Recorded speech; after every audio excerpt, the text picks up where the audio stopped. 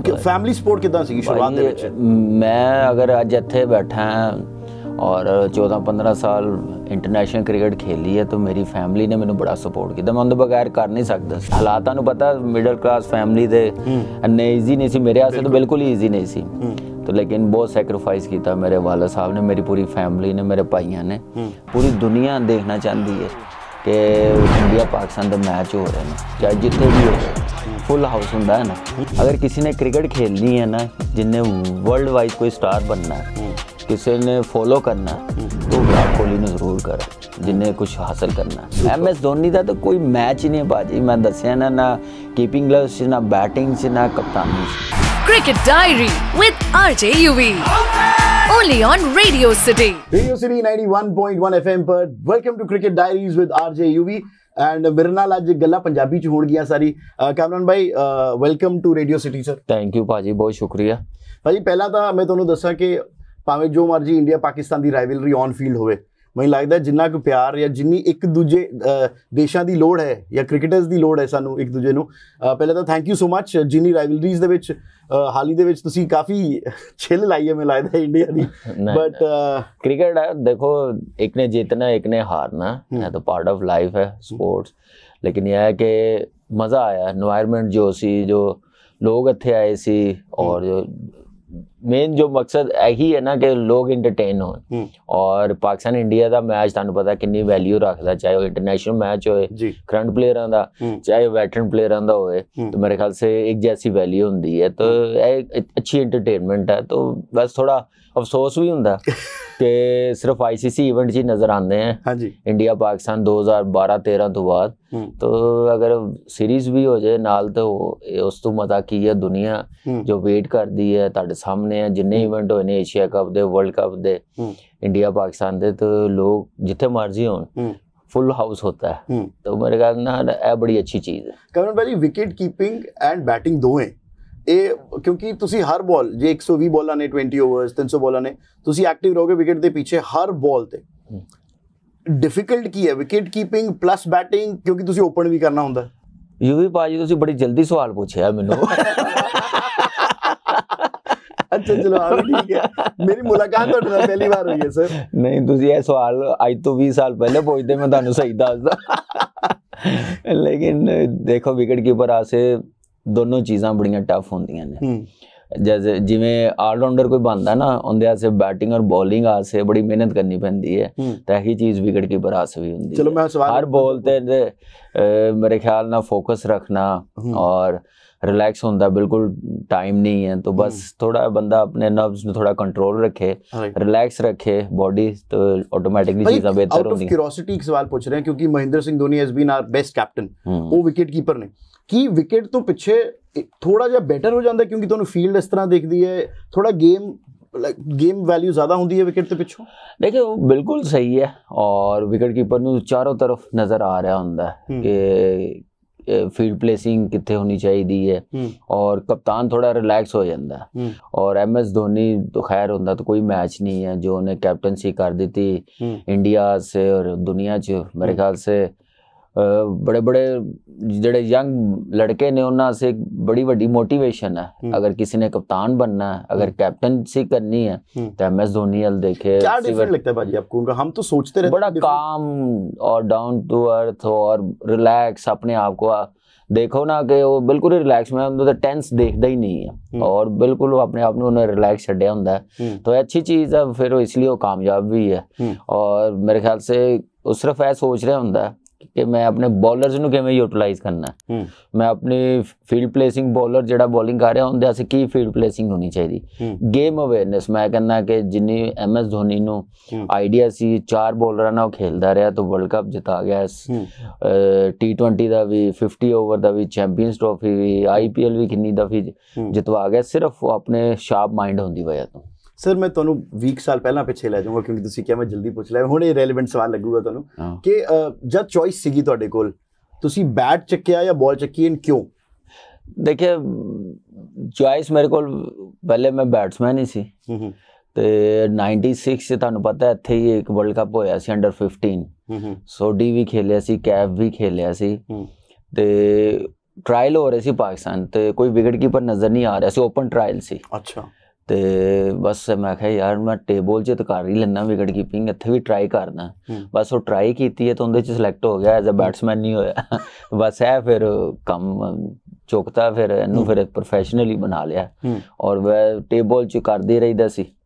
Keeping ਤੇ ਬਸ ਥੋੜਾ ਜਿਹਾ ਆਈਡੀਆ ਹੈਗਾ ਸੀ ਫਿਰ ਇਹਨੂੰ ਫੁੱਲੀ ਪ੍ਰੋਫੈਸ਼ਨਲੀ ਫਿਰ ਕਲੱਬ ਕ੍ਰਿਕਟ ਫਿਰ ਡੋਮੈਸਟਿਕ ਸਾਰੀ ਐਜ਼ ਅ ਵਿਕਟ ਕੀਪਰ ਖੇਲਦਾ ਰਿਹਾ। ਭਾਜੀ ਸਾਡੇ ਮੁਲਕਾਂ ਦੇ ਵਿੱਚ ਨਾ ਜਦ ਵੀ ਕੋਈ ਕ੍ਰਿਕਟ ਜਾਂ ਕੋਈ ਆਰਟ ਜੇ ਤੁਸੀਂ ਚੂਜ਼ ਕਰਦੇ ਹੋ ਐਜ਼ ਅ profession ਫੈਮਿਲੀ ਜ਼ਿਆਦਾ ਸਪੋਰਟ ਨਹੀਂ ਕਰਦੀ ਸ਼ੁਰੂਆਤ ਦੇ ਵਿੱਚ। ਕਿਉਂਕਿ ਉਹਨਾਂ ਨੂੰ ਲੱਗਦਾ ਹੈ ਕਿ ਇਹ ਤਾਂ ਕੋਈ ਵਿਰਲਾ ਹੀ ਹੈ ਜੋ ਉੱਪਰ ਨਿਕਲਦਾ। ਹੈ ਫੈਮਿਲੀ ਸਪੋਰਟ ਕਿਦਾਂ ਸੀ ਸ਼ੁਰੂਆਤ ਦੇ ਵਿੱਚ? ਮੈਂ ਅਗਰ ਅੱਜ ਇੱਥੇ ਬੈਠਾ ਹਾਂ ਔਰ 14 15 ਸਾਲ ਇੰਟਰਨੈਸ਼ਨਲ ਕ੍ਰਿਕਟ ਖੇਲੀ ਹੈ ਤਾਂ ਮੇਰੀ ਫੈਮਿਲੀ ਨੇ ਮੈਨੂੰ ਬੜਾ ਸਪੋਰਟ ਕੀਤਾ। ਮੈਂ ਉਹਦੇ ਬਗੈਰ ਕਰ ਨਹੀਂ ਸਕਦਾ ਸੀ। ਸ਼ੁਰੂਆਤੀ ਦਿਨਾਂ ਦੇ ਵਿੱਚ? ਸ਼ੁਰੂ ਤੋਂ ਮੈਂ। ਦੱਸ ਰਿਹਾ ਮੈਂ ਆਪਣੇ ਵਾਲਾ ਸਾਹਿਬ ਦੀ ਦੱਸ ਰਿਹਾ। ਕਿ ਉਹ- ਉਹਨਾਂ ਦੀ ਖੁਆਇਸ਼ ਸੀ ਅਸੀਂ ਸਾਡੀ ਫੈਮਿਲੀ 'ਚ ਨਾ ਸਾਡੇ ਭਰਾਵਾਂ 'ਚ ਕੋਈ ਇੱਕ ਕ੍ਰਿਕਟਰ ਬਣੇ। ਹੂੰ। ਤਾਂ ਬਸ ਅੱਲਾ ਨੇ ਫਿਰ ਮੇਰੀ ਕਿਸਮਤ 'ਚ ਲਿਖਿਆ ਸੀ ਹੂੰ। ਬਣ ਗਏ ਆ। ਦੂਸਰਾ ਸ਼ੌਕ ਪਤੰਗਬਾਜ਼ੀ ਦਾ ਸੀ। ਉਹਦੇ 'ਚ ਮਾਰ ਬੜੀ ਪੈਂਦੀ ਸੀ। ਤੇ ਇਸ ਲਈ ਫਿਰ ਕਿ ਨਾ ਮੈਂ ਕਿਹਾ ਯਾਰ ਮਿੱਟੀ ਪਾਉ ਹੁੰਦੇ ਤੇ ਪਤੰਗਬਾਜ਼ੀ ਤੇ। ਐ ਹੀ ਕਰੀਏ ਕੰਮ। ਚਲੋ ਫੈਮਿਲੀ ਵਾਲੀ ਸਪੋਰਟ ਤਾਂ ਮਿਲੇਗੀ। ਫਿਰ ਮੇਰੇ ਵਾਲਦ ਸਾਹਿਬ ਮੈਨੂੰ ਲੈ ਕੇ ਜਾਂਦੇ ਹੁੰਦੇ ਸੀ ਗਰਾਊਂਡ 'ਚ। ਲੋਰੂ ਬਾਰ ਵੀ ਮੈਚ ਹੁੰਦੇ ਸੀ। ਬਾਈਕ ਤੇ ਬੈਠਣਾ ਜਾਣਾ ਤੇ ਲੈ ਕੇ ਆਣਾ। ਤੇ ਹਾਲਾਤਾਂ ਨੂੰ ਪਤਾ ਮਿਡਲ ਕਲਾਸ ਫੈਮਿਲੀ ਦੇ ਇੰਨੇ ਈਜ਼ੀ ਨਹੀਂ ਸੀ। ਮੇਰੇ ਵਾਸਤੇ ਤਾਂ ਬਿਲਕੁਲ। ਈਜ਼ੀ ਨਹੀਂ ਸੀ। तो लेकिन बहुत सैक्रिफाइस ਕੀਤਾ ਮੇਰੇ ਵਾਲਦ ਸਾਹਿਬ ਨੇ ਮੇਰੀ ਪੂਰੀ ਫੈਮਿਲੀ ਨੇ ਮੇਰੇ ਭਾਈਆਂ ਨੇ ਹੂੰ तो ਅੱਲਾ ਦਾ ਅੱਲਾ ਦਾ ਸ਼ੁਕਰ ਹੈ ਕਿ ਅੱਲਾ ਹੂੰ। ਨੇ ਬੜੀ ਇੱਜ਼ਤ ਦਿੱਤੀ ਭਾਜੀ ਅਗੇਨ ਸਾਡੀ ਕੰਟਰੀਜ਼ ਦੇ ਵਿੱਚ ਨਾ ਅਹ, ਤੁਸੀਂ ਇੱਕ ਰਾਤ ਹੀਰੋ ਅਗਲੀ ਰਾਤੀ ਸਾਰੇ ਤੁਸੀਂ ਦੇਖੋਗੇ ਸੋਸ਼ਲ ਮੀਡੀਆ ਗਾਲਾਂ ਵੀ ਦੇ ਰਹੇ ਲੋਕੀ ਆਪਣੇ ਓਪੀਨੀਅਨਸ ਦੇ ਰਹੇ ਇਹਨੂੰ ਆ ਸਿੱਧਾ ਬੈਟ ਨਹੀਂ ਲਾਇਆ ਇਹ ਇਹ ਨਹੀਂ ਕੀਤਾ ਉਹ ਨਹੀਂ ਕੀਤਾ as a cricketer professional cricketer ਤੁਹਾਨੂੰ ਪਤਾ ਹੈ ਕਿ you will have a bad day ਇੱਕ ਵਧੀਆ ਦਿਨ ਵੀ ਹੋਏਗਾ ਇੱਕ ਪਰਪਲ ਪੈਚ ਵੀ ਹੁੰਦਾ ਹੈ 10 20 ਮੈਚਸ ਇੱਕ ਦੋ ਸੀਰੀਜ਼ ਚ ਓਨੈਸਟਲੀ ਇਹ ਸਭ ਕੈਮਰਾ ਲਈ ਹੈਗੀ। ਇੰਡੀਆ ਦੇ ਵਿੱਚ ਵੀ ਪਾਕਿਸਤਾਨ ਦੇ ਵਿੱਚ ਵੀ ਜਿੰਨੇ ਲੋਕੀ ਦੇਖ ਰਹੇ ਹਨ। ਕੋਈ ਇਦਾਂ ਦਾ ਮੈਸੇਜ ਹੈ ਵੈਰੀ ਸੋਲਮ ਮੈਸੇਜ that ਕਿ ਆਪ- ਆਪਾਂ ਆਪਣੇ ਕ੍ਰਿਕਟਰਸ ਆਪਣੇ ਹੀਰੋਜ਼ ਨਾਲ ਸਹੀ ਟਰੀਟ ਕਰਦੇ ਆ ਜਦ ਉਹਨਾਂ ਨੂੰ ਆਪਾਂ ਇੱਕ ਦਿਨ ਚ ਹੀਰੋ ਬਣਾ ਦਿੰਦੇ ਆ ਇੱਕ ਦਿਨ ਚ ਜ਼ੀਰੋ ਕਰ ਦਿੰਦੇ ਆ ਦੇਖੇ ਇਹ ਚੀਜ਼ਾਂ ਬਸ ਹੁਣੀ ਰੀਸੈਂਟਲੀ ਤੁਸੀਂ ਦੇਖ ਰਹੇ ਹੋਗੇ ਜਦੋਂ ਦੇ ਸਮਾਰਟਫੋਨ ਆਨੇ ਸ਼ੁਰੂ ਹੋ ਗਏ ਨੇ ਸੋਸ਼ਲ ਮੀਡੀਆ ਆਣਾ ਸ਼ੁਰੂ ਹੋ ਗਿਆ ਹੂੰ। ਇਸ ਚੀਜ਼ਾਂ ਤੇ ਹੈ। ਤੇ ਮੇਰੇ ਖਿਆਲ ਨਾਲ ਕ੍ਰਿਕਟ ਦੀ ਹੱਦ ਤੱਕ ਹੁਣ ਇੰਨੀ ਫਾਸਟ ਕ੍ਰਿਕਟ ਹੋ ਗਈ ਹੈ ਤਾਂ ਲੋਕ ਵੀ ਨਾ ਫਾਸਟ ਹੋਣ ਤਾਂ ਫਿਰ ਕੰਮ ਤਾਂ ਨਹੀਂ ਨਾ ਬਣੇਗਾ। ਤਾਂ ਮੇਰੇ ਖਿਆਲ ਨਾਲ ਓਪੀਨੀਅਨ ਹਰ ਕਿਸੇ ਦੀ। ਔਰ ਦੇਖਣੀ ਚਾਹੀਦੀ ਹੈ ਕ੍ਰਿਕਟ ਦੀ ਕਿੰਨੀ ਕੁ ਸਮਝ ਹੂੰ। ਕਿਉਂਕਿ ਬੋਲ ਟੂ ਬੋਲ ਤੁਸੀਂ ਮੈਚ ਦੇਖ ਰਹੇ ਹੁੰਦੇ ਹੋ ਸੈਂਟੀਮੈਂਟ ਇੰਨੇ ਹੁੰਦੇ ਨੇ ਹਰ ਟੀਮ ਨਾਲ ਆਪਣੇ ਅਹ, ਜੋ ਕ੍ਰਿਕਟ ਫੈਨ ਨੇ ਉਹਨਾਂ ਨਾਲ ਪਲੇਅਰਾਂ ਨਾਲ ਹੁੰਦੇ ਨੇ ਹੂੰ ਤਾਂ ਉਹ ਫਿਰ ਉਹ ਇਸ ਲਈ ਅੱਛਾ ਕਰਦੇ ਨੇ ਸਪੋਰਟ ਵੀ ਕਰਦੇ ਨੇ ਹੂੰ ਲੇਕਿਨ ਜਦੋਂ ਬਿਲੋ ਦਾ ਬੈਲਟ ਜਿਹੜੀ ਗੱਲ ਕਰਦੇ ਆ ਨਾ ਉਨ- ਉਹ ਮੇਰੇ ਖਿਆਲ ਨਾਲ ਠੀਕ ਨਹੀਂ ਹੈ ਕਿਸੇ ਹਾਸੇ ਵੀ ਹੂੰ। ਜ਼ਰੂਰ ਆਪਣੀ رائے ਦੇਣ ਕਿ ਯਾਰ ਇਹ ਬੱਲਾ ਇੰਜ ਸੀ ਕੀ ਖੇਲਿਆ ਇਹ ਖੇਲਿਆ ਉਹ ਖੇਲਿਆ ਹੂੰ ਲੇਕਿਨ ਥੋੜਾ ਲਿਮਟ 'ਚ ਰਹਿ ਕੇ ਤੁਸੀਂ ਤੇ- ਆਪਸ ਚ ਕਦੇ ਜਦ ਬੈਠਦੇ ਹੋ ਸਾਰੇ ਪਲੇਅਰਸ ਡਿਸਕਸ ਕਰਦੇ ਹੋ ਕਿ ਉਹ- ਉਹਨਾਂ ਨੂੰ ਕੀ ਪਤਾ ਕੀ ਕਰ ਸੀ? ਕਦੇ ਉਹ ਹੁੰਦਾ ਕਿ ਕਰਾਊਡ ਦੇ ਸੈਂਟੀਮੈਂਟਸ ਆਪਸ ਸ਼ੇਅਰ ਹੁੰਦੇ ਆ ਤੁਸੀਂ ਆਪਸ ਬਸ ਚ ਦੇਖੋ ਬਿਲਕੁਲ ਹੁੰਦੇ ਨੇ ਔਰ ਬਹੁਤ ਜ਼ਿਆਦਾ ਹੁੰਦੇ ਨੇ ਔਰ ਮੇਰੇ ਖਿਆਲ ਨਾਲ ਇਹ ਵਾਹਿਦ ਕ੍ਰਿਕਟ ਰਹਿ ਗਈ ਹੈ ਇੰਡੀਆ 'ਚ ਤਾਂ ਖੈਰ ਦੂਸਰੀ ਸਪੋਰਟ ਬੜੀ ਹੁੰਦੀ ਹੈ ਸਪੋਰਟਸ ਹੁੰਦੀ ਹੈ ਪਾਕਿਸਤਾਨ 'ਚ ਤਾਂ ਸਿਰਫ ਹੁਣ ਹਾਕੀ ਤੋਂ ਬਾਅਦ ਕ੍ਰਿਕਟ ਹੀ ਹੈ ਔਰ ਜਿਹੜੀ ਨੰਬਰ 1 ਬਣ ਗਈ ਹੈ ਪਹਿਲੇ ਹਾਕੀ ਹੁੰਦੀ ਸੀ ਸਾਡੇ। ਤੇ ਇਸ ਲਈ ਜ਼ਰਾ ਸੈਂਟੀਮੈਂਟ ਜ਼ਿਆਦਾ ਜ਼ਿਆਦਾ ਜ਼ਿਆਦਾ ਪਾਕਿਸਤਾਨ 'ਚ ਬਹੁਤ ਜ਼ਿਆਦਾ ਨੇ ਹੂੰ ਤੇ ਰੀਸੈਂਟਲੀ ਸਾਡੀ ਜ਼ਰਾ ਕ੍ਰਿਕਟ ਵੀ ਅੱਛੀ ਨਹੀਂ ਹੋ ਰਹੀ ਤਾਂ ਜ਼ਰਾ as a Pakistani as a cricketer ਸਾਨੂੰ ਵੀ ਬੜਾ ਦੁੱਖ ਹੋ ਰਿਹਾ ਅਫਸੋਸ ਹੁੰਦਾ ਕਿ ਇੰਜ ਨਹੀਂ ਹੋਣਾ ਚਾਹੀਦਾ ਲੇਕਿਨ ਇਹ ਹੈ ਕਿ ਰਾਏ ਆ ਹੂੰ ਔਰ ਕੀ ਕਹਿ ਸਕਦੇ ਹਰ ਕੋਈ ਹੱਕ ਹੈ ਰਾਏ ਦੇਣ ਦਾ। ਲੇਕਿਨ ਇਹਦੇ ਨੂੰ ਇਹਦੇ 'ਚ ਤੁਸੀਂ ਕਿਸੇ ਨੂੰ ਰੋਕ ਨਹੀਂ ਸਕਦੇ। ਲੇਕਿਨ ਉਹ ਜ਼ਰਾ ਰਾਏ ਜੋ ਆਪਣੀ ਗੱਲ ਕਰਨਾ ਚਾਹੁੰਦੇ ਨੇ। ਉਹ ਜ਼ਰਾ ਅੱਛੇ ਅੰਦਾਜ਼ 'ਚ ਹੋ ਜਾਏ ਨਾ ਤਾਂ। ਬਹੁਤ ਹੀ ਅੱਛਾ। ਫਿਰ ਦੂਸਰਾ ਲੋਕਾਂ ਨੂੰ ਤਾਂ ਅਸੀਂ ਬਾਅਦ 'ਚੋਂ ਹੈ ਪਹਿਲੇ ਅਸੀਂ ਆਪਸ ਵਿੱਚ ਕ੍ਰਿਕਟਰ ਹੈ ਨਾ ਜਿਹੜੇ। ਪਾਕਿਸਤਾਨ ਦੇ ਨੇ ਇੰਡੀਆ ਦੇ ਨੇ ਬੰਗਲਾਦੇਸ਼ ਜਿਹੜੇ ਸਾਡੇ ਇਸ ਖਿੱਤੇ ਦੇ ਕ੍ਰਿਕਟਰ ਨੇ ਇਹਨਾਂ ਨੂੰ ਪਹਿਲੇ ਇੱਕ ਦੂਸਰੇ ਆਸੇ ਨਾ ਆਪਣੇ ਆਸੇ। ਰਿਸਪੈਕਟ ਰੱਖਣੀ ਚਾਹੀਦੀ ਹੈ ਕੋਈ ਗੱਲ ਕੋਈ ਦੂਸਰਾ ਕਰ ਫੀਲ ਤੇ ਤਾਂ ਲੱਗਦੀ ਹੈ ਖੈਰ ਨਹੀਂ ਗੱਲ ਕਰਨ ਤੋਂ ਪਹਿਲੇ ਅਸੀਂ ਇਹ ਕਰ ਲਈਏ ਨਾ ਤਾਂ ਬਹੁਤ ਅੱਛਾ ਹੋ ਜਾਏਗਾ। ਫੈਨਸ ਵੀ ਥੋੜਾ ਸਾ। ਫਿਰ ਇੰਜ ਕਰਨਗੇ। ਫਿਰ ਤੁਹਾਨੂੰ ਪਤਾ ਕਿ ਮੇਰੇ ਫੈਨਸ ਜਾਂ ਪਾਕਿਸਤਾਨ ਕ੍ਰਿਕਟ ਦੇ ਫੈਨ ਡਿਫਰੈਂਟ ਨੇ ਅਗਰ ਸਾਡੇ ਖਿਲਾਫ ਕੋਈ ਗੱਲ ਹੋਏਗੀ ਤਾਂ ਫਿਰ ਉਹ ਵੀ ਜਵਾਬ ਦੇਣਗੇ। ਤਾਂ ਫਿਰ ਇਹ ਚੀਜ਼ਾਂ ਮੇਰੇ ਖਿਆਲ ਨਾਲ। ਅੱਛੀਆਂ ਨਹੀਂ ਆ।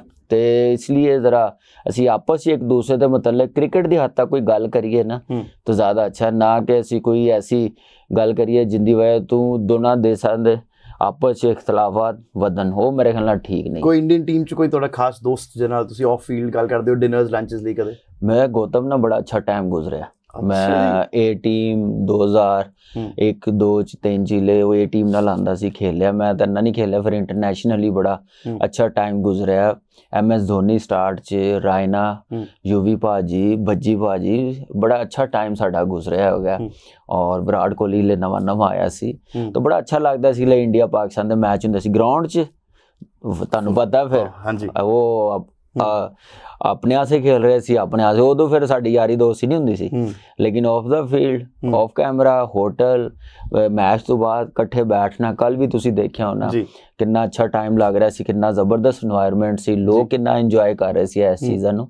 ਤੇ ਮੇਰੇ ਖਿਆਲ ਨਾਲ ਸਾਰਿਆਂ ਨਾਲ ਬੜਾ ਅੱਛਾ ਟਾਈਮ ਗੁਜ਼ਰਿਆ ਔਰ ਇਕੱਠੇ ਅਸੀਂ ਡਿਨਰ ਵੀ ਕਰਦੇ ਰਹੇ ਹਾਂ। ਔਰ ਰਾਇਨਾ ਨਾਲ ਬੜਾ ਅੱਛਾ ਟਾਈਮ ਗੁਜ਼ਰਿਆ। ਹੁਣ ਵੀ ਦੇਖੋ ਅਸੀਂ ਇੰਟਰਨੈਸ਼ਨਲੀ ਮਿਲਦੇ ਰਹਿੰਦੇ ਹੁਣ ਲੀਗਾਂ ਨੀਆਂ ਹੋ ਗਈਆਂ ਨੇ ਤਾਂ ਅੱਛਾ ਲੱਗਦਾ। ਤੇ ਟਾਈਮ ਅਸੀਂ ਰੀਕਾਲ ਕਰ ਕਰਦੇ ਹਾਂ ਕਿ ਲੈ ਅਸੀਂ ਸ਼ੁਰੂ 2003-4 ਚ ਅਸੀਂ ਮਿਲਦੇ ਸੀ ਬੈਠਦੇ ਸੀ ਉੱਠਦੇ ਸੀ ਉਹ ਚੀਜ਼ਾਂ ਵਾਪਸ ਆ ਰਹੀਆਂ ਨੇ ਆਇਸਾ ਆਇਸਾ ਤਾਂ ਅੱਛਾ ਵੀ ਲੱਗਾ। ਸਰ ਦੋ ਤਿੰਨ ਸਵਾਲ ਸਿਰਫ ਇੰਡੀਆ ਪਾਕਿਸਤਾਨ ਰਾਈਵਲਰੀ ਦੇ ਉੱਪਰ ਮੈਨੂੰ ਪੁੱਛਣੇ ਪੈਣੇ ਆ। ਹਾਂਜੀ।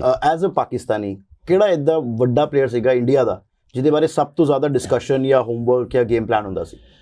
ਦੇਖੇ ਨੋ ਡਾਊਟ ਮੈਂ ਤਾਂ ਦੇਖਿਆ ਹੀ ਲੈ ਕ੍ਰਿਕਟ ਸ਼ੁਰੂ ਕੀਤੀ ਤੇ ਗ੍ਰੇਟ ਸਚਿਨ ਪਾਜੀ। ਹੂੰ। ਕਿਆ ਪਲੇਅਰਸ ਥੇ ਔਰ ਕਿਆ ਰੋਲ ਮਾਡਲ ਥੇ ਉਸ ਵਕਤ। ਔਰ ਹੁਣ ਵੀ ਉਹਨਾਂ ਦਾ ਮੈਂ ਨਾ ਕੋਈ ਜੋੜ ਹੀ ਕੋਈ ਨਹੀਂ ਹੈ ਹੂੰ ਲੇਕਿਨ ਉਸ ਵਕਤ ਜੋ ਮੈਨੂੰ ਲੱਗਦਾ ਨਹੀਂ ਸੀ ਕਿ ਉਹਨਾਂ ਦੀ ਕੋਈ ਜਗ੍ਹਾ ਲੈ ਸਕੇਗਾ ਉਹਨਾਂ ਤੱਕ ਕੋਈ ਪਹੁੰਚੇਗਾ ਹੂੰ लेकिन मेरे ख्याल ना जो विराट कोहली ने करता वर्ल्ड क्रिकेट से ਹੂੰ अपने इंडिया से मेरे ख्याल से ਉਹ ਕੋਈ ਨਹੀਂ ਘੱਟ ਹੀ ਹੋਏਗਾ। ਸਚਨ ਦਾ ਤਾਂ 10 ਸਾਲ ਬਾਅਦ ਆ ਗਿਆ 15 ਸਾਲ ਬਾਅਦ ਆ ਗਈ ਰਿਪਲੇਸਮੈਂਟ ਵਿਰਾਟ ਕੋਹਲੀ ਨੂੰ ਬੀਟ ਕਰਨ ਆਸੇ ਮੇਰੇ ਖਿਆਲ ਨਾਲ ਉਹਦੇ ਵਰਗਾ ਬੰਨਾ ਪੈਣਾ। ਉਹਦੇ ਤੋਂ ਅੱਛਾ ਬਣੇਗਾ ਤਾਂ ਉਹਦੇ ਤੋਂ ਉੱਤੇ ਜਾਏਗਾ। ਉਹੋ ਜਿਹਾ ਉਹਦਾ ਐਟੀਟਿਊਡ ਫਿਟਨੈਸ ਪਰਫਾਰਮੈਂਸ ਹੰਗਰ ਕਿ ਮੈਂ ਪਰਫਾਰਮ ਕਰਨਾ ਨਹੀਂ ਕ੍ਰਿਕਟ ਖੇਲਣ ਤੋਂ ਬਾਅਦ 80 ਪਲੱਸ 100 ਕਰਨ ਤੋਂ ਬਾਅਦ ਵੀ ਉਹਦੀ ਹੰਗਰ ਖਤਮ ਨਹੀਂ ਹੋ ਰਹੀ। ਤਾਂ ਦਾ ਮਤਲਬ ਹੈ ਕਿ ਕਿੰਨਾ ਪੈਸ਼ਨ ਹੈ ਉਹਨੂੰ ਇਸ ਕ੍ਰਿਕਟ ਨਾਲ। ਸ਼ੌਕ ਕਿੰਨਾ ਹੈ। ਕਿ ਅਸੀਂ ਉਹਨੂੰ 2008 ਚ ਜੋ ਦੇਖਿਆ ਸੀ। ਆਈਪੀਐਲ ਚ ਪਹਿਲੇ ਐਡੀਸ਼ਨ ਚ ਮੇਰੇ ਖਿਆਲ ਨਾਲ ਉਹਨੇ ਆਪਣੇ ਆਪ ਨੂੰ ਬੜਾ ਜਲਦੀ ਚੇਂਜ ਕੀਤਾ। ਅਗਰ ਕਿਸੇ ਨੇ ਕ੍ਰਿਕਟ ਖੇਲਣੀ ਹੈ ਨਾ ਜਿੰਨੇ ਵਰਲਡ ਵਾਈਜ਼ ਕੋਈ ਸਟਾਰ ਹੈ ਹੂੰ। ਕਿਸੇ ਨੇ ਫੋਲੋ ਕਰਨਾ ਤਾਂ ਵਿਰਾਟ ਕੋਹਲੀ ਨੂੰ ਜ਼ਰੂਰ ਕਰੇ ਜਿੰਨੇ ਕੁਝ ਹਾਸਲ ਕਰਨਾ ਜੋ ਉਹਨੇ ਹਾਸਲ ਕੀਤਾ। ਤੇ ਸਾਡੇ ਮੁਲਕਾਂ 'ਚ ਜਿਹੜੇ ਕੰਪੈਰੀਜ਼ਨ ਹੁੰਦੇ ਆ ਸਚਿਨ ਜਾਂ ਕੋਹਲੀ ਕੋਹਲੀ ਜਾਂ ਬਾਬਰ ਆਜ਼ਮ ਐਟਸੈਕਟਰਾ ਨਹੀਂ ਨਹੀਂ ਕੋਈ ਕੰਪੈਰੀਜ਼ਨ ਹੋਣਾ ਨਹੀਂ ਚਾਹੀਦਾ। ਮੇਰੇ ਖਿਆਲ ਨਾਲ ਸਾਰੇ ਆਪਣੀ ਆਪਣੀ ਜਗ੍ਹਾ ਬੜੇ ਚੰਗੇ ਨੇ। ਹੂੰ ਔਰ ਆਪਣੇ ਆਪਣੇ ਮੁਲਕ ਆਸੇ ਬੜੀ ਅੱਛੀ ਪਰਫਾਰਮੈਂਸ ਦੇ ਰਹੇ ਨੇ ਬਾਬਰ ਹੂੰ। ਸਾਡੇ ਕੋਲ ਆਇਆ ਇੰ- ਇੰਜੀ ਬਾਈ ਤੋਂ ਬਾਅਦ ਯੂਨਸ ਬਾਈ ਤੋਂ ਬਾਅਦ ਹੂੰ। ਯੂਸਫ ਬਾਈ ਤੋਂ ਬਾਅਦ ਕੋਈ ਬੈਟਸਮੈਨ ਉਸ ਤੋਂ ਪਹਿਲੇ ਗ੍ਰੇਟ ਜਾਵੇਦ ਬਾਈ ਜ਼ਹੀਰ ਅਬਾਸ ਬੜੇ ਬੜੇ ਬੈਟਸਮੈਨ। ਅਸੀਂ ਜਿਨ੍ਹਾਂ ਨੂੰ ਦੇਖਿਆ ਉਹਨਾਂ ਤੋਂ ਬਾਅਦ ਸਾਨੂੰ ਬੜਾ ਅਰਸਾ ਲੱਗਾ। ਕਿ ਸਾਡੇ ਕੋਲ ਆਇਆ ਇਹੋ ਜਿਹਾ ਪਲੇਅਰ। ਤੇ ਸਾਨੂੰ ਵੀ ਖੁਸ਼ੀ ਹੁੰਦੀ ਹੈ ਕਿ ਇਹੋ ਜਿਹੇ ਇੰਡੀਆ ਕੋਲ ਤਾਂ ਹਰ 10 ਸਾਲ ਬਾਅਦ ਕੋਈ ਆ ਜਾਂਦਾ। ਰਿਕਾਰਡ ਤੋੜਨ ਆਸੇ ਜਿਹੜੇ। ਬਣੇ ਹੁੰਦੇ ਨੇ ਤੇ ਮੇਰੇ ਖਿਆਲ ਨਾਲ ਬਾਬਰ ਦੀ ਜਿੰਨੀ ਕ੍ਰਿਕਟ ਹਲੀ ਹੈ 8-10 ਸਾਲ ਹਲੀ ਉਹਨੇ ਖੇਲਣੀ ਹੈ ਜਿਹੋ ਜੀ ਫਿਟਨੈਸ ਹੈ ਹੁੰਦੀ ਹੂੰ ਤੇ ਮੇਰੇ ਖਿਆਲ ਨਾਲ ਬੜਾ ਪਰਫਾਰਮ ਕਰੇਗਾ ਤਾਂ ਖੁਸ਼ੀ ਹੁੰਦੀ ਹੈ ਔਰ ਮੇਰੇ ਖਿਆਲ ਨਾਲ ਕੰਪੈਰੀਜ਼ਨ ਕੋਈ ਬੰਦਾ ਹੀ ਨਹੀਂ ਹੈ ਨਾ ਕਰਨਾ ਚਾਹੀਦਾ ਮੇਰੇ ਖਿਆਲ ਨਾਲ ਉਹ ਆਪਣੀ ਆਪਣੀ ਕਲਾਸ ਦੇ ਪਲੇਅਰ ਨੇ ਗ੍ਰੇਟ ਸਚਨ ਲਾਰਾ ਇੰਜੀ ਭਾਈ ਸਨੀ ਭਾਈ ਜਿਤਨੇ ਹੈ ਗੌਤਮ ਆ ਦੇਖ ਲਓ ਵੀਰੂ ਭਾਜੀ ਦੇਖ ਲਓ। ਹੂੰ। ਵੀਰੂ ਭਾਜੀ ਨੂੰ ਤਾਂ ਅਸੀਂ ਆਪ ਕਹਿੰਦੇ ਸੀ ਵਿਕਟ ਤੋਂ ਪਿੱਛੇ ਹੋ ਗਏ ਟੈਸਟ ਮੈਚ ਹੂੰ। ਲੈ ਸਾਨੂੰ ਬੋਰ ਹੋਣਾ ਸ਼ੁਰੂ ਹੋ ਜਾਂਦਾ ਸੀ ਕਹਿੰਦੇ ਵੀਰੂ ਭਾਜੀ ਜ਼ਰਾ ਗੁੰਗੁਣਾ ਦਿਓ ਜ਼ਰਾ ਗਾਣਾ ਸੁਣਾ ਦਿਓ। ਕੋਈ ਯਾਦ ਹੈ ਇਨਸੀਡੈਂਟ ਗਾਇਆ ਉਹਨਾਂ ਨੇ ਗਾਣਾ ਨਹੀਂ ਨਹੀਂ ਉਹ ਹਮੇਸ਼ਾ ਹੀ ਗਾਉਂਦੇ ਸੀ। ਅੱਛਾ। ਅੱਜ ਫਿਰ ਉਹਨਾਂ ਨੂੰ ਅਸੀਂ ਇਹ ਗਾਣਾ ਸੁਣਦੇ ਸੀ ਤੇ ਕਹਿੰਦੇ ਸੀ ਚਲੋ ਠੀਕ ਹੈ ਥੋੜਾ ਜਿਹਾ ਠੰਡਾ ਹੋ ਗਏ ਨੇ। ਕਿਹੜਾ ਗਾਣਾ ਕੁਝ ਯਾਦ ਸਰ ਉਸ ਟਾਈਮ ਜਿਹੜਾ ਉਹ ਚੱਲ ਰਿਹਾ ਹੁੰਦਾ ਸੀ ਉਹ ਗੁੰਗੁਣਾ ਰਹੇ ਹੁੰਦੇ ਸੀ। ਤਾਂ ਅੱਛਾ ਲੱਗਦਾ ਸੀ ਬੜਾ ਅੱਛਾ ਟਾਈਮ ਗੁਜ਼ਰਿਆ। ਤੇ ਬੜਾ ਅੱਛਾ ਲੱਗਦਾ ਵੀ ਹੈ ਲੇਕਿਨ ਫਿਰ ਮੈਂ ਕਹਾਂਗਾ ਕਿ ਐਜ਼ ਅ ਕ੍ਰਿਕਟਰ ਤਾਂ ਮੈਂ ਤਾਂ ਕਦੀ ਕੰਪੈਰੀਜ਼ਨ ਕੀਤਾ ਹੀ ਨਹੀਂ ਹੈ। ਸਾਰੇ ਆਪਣੀ ਆਪਣੀ ਜਗ੍ਹਾ ਅੱਛੇ ਨੇ ਆਪਣੀ ਮਿਹਨਤ ਨਾਲ ਲਾਉਂਦੇ ਨੇ ਤੇ ਖੇਲਦੇ ਨੇ international sir champions trophy sir Pakistan ਚ ਸ਼ਡਿਊਲ ਹੈਗੀ ਫੈਬ ਮਾਰਚ ਮਹੀਨਾ ਜਿਹੜਾ ਹੈਗਾ। ਕੀ ਲੱਗਦਾ ਤੁਹਾਨੂੰ? ਪਹਿਲਾਂ ਤਾਂ ਯੂ ਵਿਲ ਨੋ ਬੈਟਰ ਤੁਹਾਨੂੰ ਲੱਗਦਾ ਹੈ। ਇੰਡੀਆ ਵਿਲ ਕਮ ਜੇ ਜੋ ਨਿਊਜ਼ ਆ ਰਹੀ ਹੈ ਕਿ ਲਾਹੌਰ ਇੱਕੋ ਹੀ ਸਟੇਡੀਅਮ ਚ ਇੰਡੀਆ ਦੇ ਸਾਰੇ ਮੈਚ ਹੋਣਗੇ। ਜਾਂ ਕੁਝ ਇਸ ਤਰ੍ਹਾਂ ਦਾ ਲੋਅਰ ਪਾਕਿਸਤਾਨ ਚ ਹੀ ਹੈ। ਹਾਂ ਮਤਲਬ ਤੁਹਾਨੂੰ ਲੱਗਦਾ ਉਹ ਹੋਏਗਾ ਕੰਪਲੀਟਲੀ ਦੇਖੋ ਏਸ਼ੀਆ ਕੱਪ ਵੀ ਹੁੰਦੇ ਨੇ ਯੂਏ ਚ ਤੇ ਇੰਡੀਆ ਦੁਬਈ ਚ ਖੇਲ ਰਹੀ ਹੁੰਦੀ ਹੈ। ਔਰ ਸ੍ਰੀਲੰਕਾ ਹੁੰਦਾ ਤਾਂ ਕੋਲੰਬੋ 'ਚ ਸਾਰੇ ਮੈਚ ਖੇਲ ਰਹੇ ਹੁੰਦੇ ਨੇ। ਬਸ ਤੁਹਾਨੂੰ ਦੱਸਿਆ ਨਾ ਕਿ ਇਹ ਦੂਰੀਆਂ ਖਤਮ ਕਿਵੇਂ ਹੋਣਗੀਆਂ? ਇਲੇ ਅਸੀਂ ਆਣਾ ਜਾਣਾ ਸ਼ੁਰੂ ਕਰਾਂਗੇ। ਆਈਸੀਸੀ ਇਵੈਂਟ 'ਚ ਨਹੀਂ। ਤੋ ਜਿਵੇਂ ਪਹਿਲੇ ਮੈਂ ਖੇਲਿਆ 2004 ਚ ਸੀਰੀਜ਼ ਫਿਰ 6 ਚ ਇੰਡੀਆ ਚ ਖੇਲਿਆ 7 ਚ 13 ਚ ਖੇਲੇ ਆ ਤੋ ਬੜੀ ਪਿਆਰ ਮੁਹੱਬਤ ਮਿਲੀ ਇੰਡੀਆ ਚ ਹਾਂਜੀ ਉਸ ਟਾਈਮ ਜਿਹੜੇ ਪਾਕਿਸਤਾਨ ਆਏ ਨੇ ਇੰਡੀਆ ਟੀਮ ਬੜੀ ਪਿਆਰ ਮੁਹੱਬਤ ਮਿਲੀ ਹੈ ਤੋ ਬਸ ਦੂਰੀਆਂ ਦੂਰ ਹੁੰਦੀਆਂ ਜਾ ਰਹੀਆਂ ਨੇ ਤੇ ਉਹਨਾਂ ਨੂੰ ਕਰੀਬ ਲਿਆਉਣ ਵਾਸਤੇ ਤੇ ਫਿਰ ਸਾਨੂੰ ਉਸ ਤੋਂ ਪਹਿਲੇ ਕੋਈ ਸੀਰੀਜ਼ ਖੇਲਣੀ ਪੈਣੀ ਹੈ ਤੋ ਚਲੋ ਅੱਛੀ ਹੈ ਚੈਂਪੀਅਨਸ ਟਰੋਫੀ ਹੋ ਰਹੀ ਹੈ ਹੋਣੀ ਚਾਹੀਦੀ ਹੈ ਔਰ ਇੰਡੀਆ ਨੂੰ ਬਿਲਕੁਲ ਆਣਾ ਚਾਹੀਦਾ ਅਸੀਂ 2013 ਚ ਨਹੀਂ ਆਏ ਉਸ ਟਾਈਮ ਕੋਈ ਹਾਲਾਤ ਅੱਛੇ ਨਹੀਂ ਸੀ ਤੇ ਸਿਰਫ ਕਿਆ ਕਿਆ ਜਿਹੜੇ ਲੋਕ ਆਂਦੇ ਨੇ ਦੇਖਣ ਆਸੇ ਇਹ ਖੁਸ਼ ਹੋਣ। ਇਹ ਦੇਖਣਾ ਚਾਹੁੰਦੇ ਨੇ ਪੂਰੀ ਦੁਨੀਆ ਦੇਖਣਾ ਚਾਹੁੰਦੀ ਹੈ ਕਿ ਇੰਡੀਆ ਪਾਕਿਸਤਾਨ ਦਾ ਮੈਚ ਹੋ ਰਹੇ ਨੇ ਚਾਹੇ ਜਿੱਥੇ ਵੀ ਹੋਵੇ। ਫੁੱਲ ਹਾਊਸ ਹੁੰਦਾ ਹੈ ਨਾ।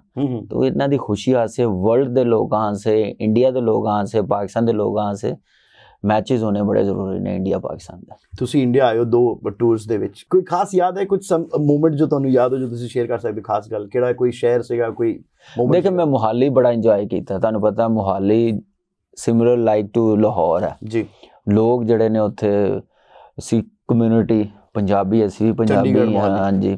ਮੇਰੇ ਕਾਫੀ ਦੋਸਤ ਯਾਰ ਵੀ ਹੈ ਮੇਰੀ ਸ਼ਾਦੀ ਤੇ ਕੋਈ 20 25 ਬੰਦੇ ਆਏ ਨੇ ਸਿੱਖ ਭਾਜੀ ਆਏ ਨੇ ਤੇ ਬੜਾ ਅੱਛਾ ਟਾਈਮ ਗੁਜ਼ਰਿਆ ਔਰ ਪਹਿਲਾ 100 ਵੀ ਮੁਹਾਲੀ 'ਚ। ਹਾਂ। ਤੇ ਇਸ ਲਈ ਟੈਸਟ ਮੈਚ 'ਚ। ਤੇ ਉਹ ਟੈਸਟ ਮੈਚ ਅਸੀਂ ਹਾਰਿਆ ਹੋਇਆ ਡਰਾਅ ਕਰ ਗਏ ਸੀ ਰਜ਼ਾਕ ਭਾਈ ਦੀ ਪਾਰਟਨਰਸ਼ਿਪ ਲੱਗੀ ਹੋਈ ਸੀ। ਤੇ ਇਹ ਮੂਮੈਂਟ ਹੈਗੀ ਹੈ ਜਿਹੜੀ ਜਿੰਦੀ ਵਜ੍ਹਾ ਤੋਂ ਕੈਰੀਅਰ ਵੱਧਦਾ ਹੀ ਗਿਆ। ਤੇ ਬਸ ਇਹੀ ਹੈ ਕਿ ਮੈਨੂੰ ਜ਼ਿਆਦਾ ਮਜ਼ਾ ਮੁਹਾਲੀ ਸਟੇਡੀਅਮ ਵੀ ਬੜਾ ਜ਼ਬਰਦਸਤ ਲੋਕ ਵੀ ਅਮੇਜ਼ਿੰਗ ਨੇ ਸਾਰੇ। ਬੜਾ ਪਿਆਰ ਬੜੀ ਮੁਹੱਬਤ ਕਰਦੇ ਨੇ। ਭਾਈ ਜਾਂਦੇ ਜਾਂਦੇ ਮੈਂ ਜੇ ਨਾ ਉਸ ਬਾਰੇ ਗੱਲ ਕਰਾਂਗਾ ਇਸ਼ਾਨ ਸ਼ਰਮਾ ਐਂਡ ਯੂ ਹਾਂਜੀ। ਉਹ ਵੀਡੀਓਜ਼ ਕਿਉਂਕਿ ਇੰਡੀਆ ਪਾਕਿਸਤਾਨ ਦੀ ਬਾਰ-ਬਾਰ ਚੱਲਦੀਆਂ ਰਹਿੰਦੀਆਂ ਨੇ। ਨਹੀਂ ਉਹ ਨਹੀਂ ਉਹ ਖਤਮ ਨਹੀਂ ਹੋਣੀਆਂ ਉਹ ਮੂਮੈਂਟ ਉਹ ਮੂਮੈਂਟ ਕੀ ਸੀਗਾ? ਮੈਨੂੰ ਪਤਾ ਤੁਸੀਂ 100 ਵਾਰ ਪਹਿਲਾਂ ਵੀ ਦੱਸ ਚੁੱਕੇ ਹੋ ਕੀ ਹੋਇਆ ਸੀ ਕੀ ਨਹੀਂ ਨਹੀਂ ਹੋਇਆ ਉਹ ਟੋਟਲੀ ਮੇਰੇ ਖਿਆਲ ਨਾਲ ਮਿਸ ਅੰਡਰਸਟੈਂਡਿੰਗ ਹੋ ਗਈ ਸੀ। ਗੌਤਮ ਨਾਲ ਵੀ ਐਨਜੀ ਸੀ। ਔਰ ਇਸ਼ਾਨ ਨਾਲ ਵੀ ਐਨਜੀ ਕੀ ਹੋਇਆ ਕੀ ਸੀ ਉਦੋਂ ਮੈਂ ਉਹਨੂੰ ਕੈਮਰੇ ਦੇ ਸਾਹਮਣੇ ਨਹੀਂ ਦੱਸ ਸਕਦਾ। ਸਮਝ ਜਾਓ ਤੁਸੀਂ, ਜਿਹੜੇ ਦੇਖਣਗੇ ਉਹ ਸਮਝ ਜਾਣਗੇ। ਕੋਈ ਅੱਛਾ। ਮਸਲਾ ਨਹੀਂ ਚਲੋ। ਲੇਕਿਨ ਇਹ ਕਿ ਬੜਾ ਅੱਛਾ ਬਾਅਦ ਚ ਅਸੀਂ ਨੈਕਸਟ ਡੇ ਸਾਡੀ ਫਲਾਈਟ ਸੀ ਅਹਿਮਦਾਬਾਦ ਦੀ ਹੂੰ ਤਾਂ ਪਲੇਨ ਚ ਵਿਰਾਟ ਕੋਹਲੀ ਸਾਰੇ ਅਸੀਂ ਅੱਗੇ ਬੈਠੇ ਹੋਏ ਸੀ ਤਾਂ- ਸੁਲਾ ਕਰਵਾਈ ਕਿਸੇ ਨੇ ਨਹੀਂ ਨਹੀਂ ਸੁਲਾ ਉਹ ਹੈ ਹੀ ਕੋਈ ਨਹੀਂ ਸੀ ਅੱਛਾ। ਗਰਾਊਂਡ 'ਚ ਗੱਲ ਗਰਾਊਂਡ 'ਚ ਹੀ ਖਤਮ ਹੋ ਗਈ ਹੂੰ ਤੇ ਵਿਰਾਟ ਨੇ ਪੁੱਛਿਆ ਸੀ ਹੂੰ। ਕਿ ਕੀ ਹੋਇਆ ਸੀ ਫਿਰ ਉਹਨੇ ਇਲੇ ਦੱਸਿਆ ਨਾ ਤਾਂ ਫਿਰ ਵਿਰਾਟ ਨੇ ਕਿਹਾ ਸੀ ਸਹੀ ਹੋਇਆ ਬਸ ਇੰਨਾ ਮੈਂ ਦੱਸਾਂ ਸਰ ਆਖਰੀ ਦੋ ਤਿੰਨ ਇੱਕ ਰੈਪਿਡ ਫਾਇਰ ਹੈ ਹਾਂਜੀ ਤੁਸੀਂ ਪਲੀਜ਼ ਚੂਜ਼ ਕਰਨਾ ਹੈ ਦੋਵਾਂ ਵਿੱਚੋਂ ਕਿਹੜੀ ਇੱਕ ਚੀਜ਼ ਤੁਸੀਂ ਸਿਲੈਕਟ ਕਰੋਗੇ ਜੀ ਠੀਕ ਹੈ ਪਲੇਇੰਗ ਵਿਦਆਊਟ ਗਲਵਸ ਔਰ without the knee pad